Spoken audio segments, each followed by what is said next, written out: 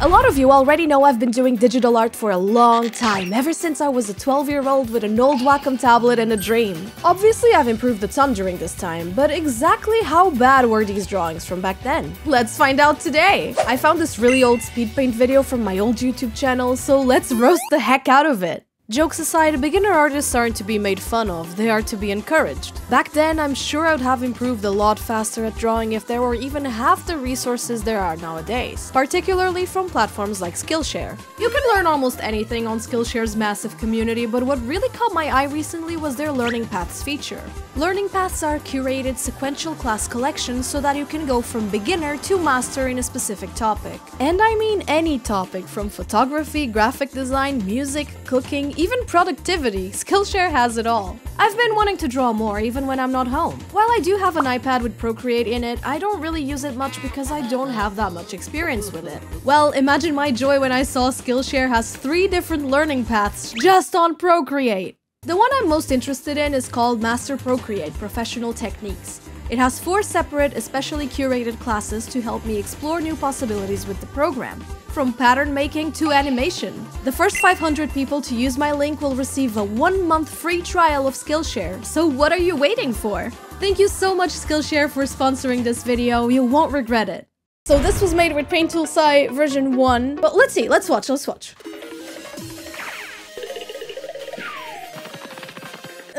Straight to line art! Let's go! Just straight up goes to line art. Doesn't even lower the opacity of the sketch. Who cares about that, you know? Who cares? Just go. I was doing this technique where, like, since the skin was probably going to be really light and the background is white, it would be hard to see. So what I do here is I use a different color and uh, then I'm probably gonna change the color. I hope. Yeah, Haruhi was- Oh, the hue and saturation? That's insane. I didn't even pick the colors, okay? I just did a weird orange and then I, I, I eyeballed it on hue and saturation. Are we gonna- what's gonna- Oh, is this the shading? I can barely see it. Because of all, like, the black lines on the hair, it barely does anything. Uh, what is that? Is that the shading on the boobs? Dude, no, that's not how it Ah, it's over! The end card too? Thanks for watching! I hope you liked it! I want to watch this again because I want to break it down. it, this is really funny because this is something I still do today. You start with the circle and then you don't use the circle for absolutely nothing. And this is such a how to draw manga, like those bad books, like yeah, the hands behind the back is, is, is a moment. For the love of God, if you are a beginner artist, if your program has layers, it probably has something called opacity. So if it has opacity, please lower the opacity of your sketch layer when you do line art.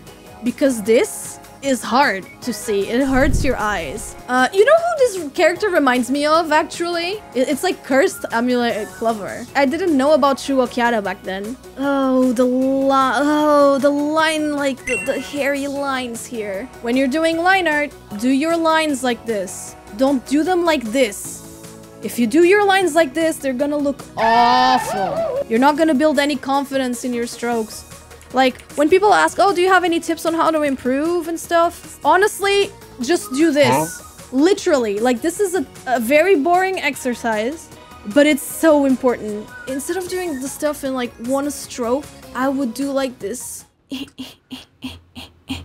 this, I think, is smart. The thing about using... Oh, these lines are killing me. These lines are killing me. That This is insane to me. Like, it didn't look that bad until I added the, the lines. It's because I didn't know how to draw hair and I didn't know how to make it look good. And I, I clearly was not a patient kid back then.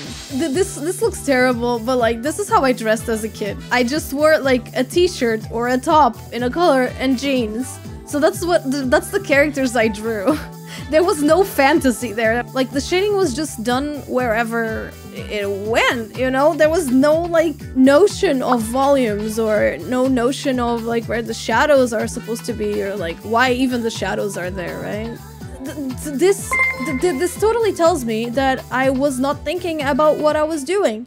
Oh, dude, this is, this is, it's painful, but like at the same time, it makes me so proud, right? Because I, I came so far and I am so glad that I recorded these time lapses and uploaded them because I, I won't lose them that way, right?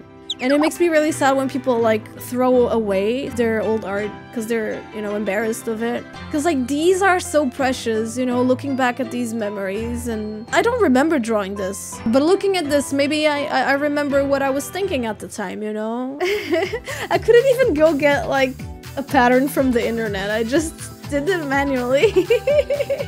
I want to show you the redraw of this drawing. I redrew this uh, at the end of last year. And yeah, so I tried to keep the same vibe, I guess. I tried to... Yeah, do you guys like it? So I was thinking that we could go through it, talk about what I'm doing, what I'm thinking, because I think that will be good to analyze. So yeah, already a huge difference compared to the previous one. So on the previous one, I did one sketch that I consider it done and immediately start jump to line art. Now I start with a very loose sketch. I try to keep give her the same hairstyle, all that stuff, and then I do the second sketch. Uh, I didn't just want to hide the hands behind the back because like when I was younger and I did like hands behind the back, it was because I couldn't draw hands, right? And I, I wanted to hide them. So what I did now was like put the hands behind the back, but kind of like one of the hands showing so that I'm hiding the hands not because I can't draw them, but simply because it's the pose I decided. I think that already makes a big difference, right? I try to keep the same, like, same vibe and the same hairstyle, and I was having a lot of trouble with the clothes. I, I was never, like, really good at designing outfits. I feel like I'm not a very fashionable person. So this was the sketch. So see? Look, this was half of the half of the video is me sketching. So I think this already tells like a huge difference, right? First character, I just did like a shabby sketch and immediately went right to line art. Like it's 24 seconds of the 6 minute video. While this new video, basically half of the video is me doing sketches. Uh, my brother-in-law got me this book and uh, it's by this illustrator I really like called Tanaka. And like this this book has like a lot of really cool outfits and a lot of really cool like stuff. I think that's a big improvement from like Child Mari because it was like, you know, I'm not good at making up outfits or anything, so I'm just gonna like look them up.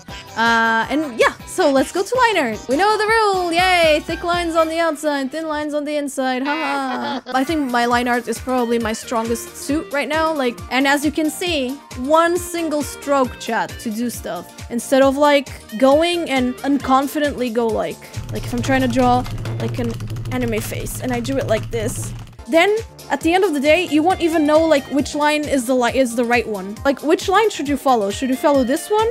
Should you follow this one?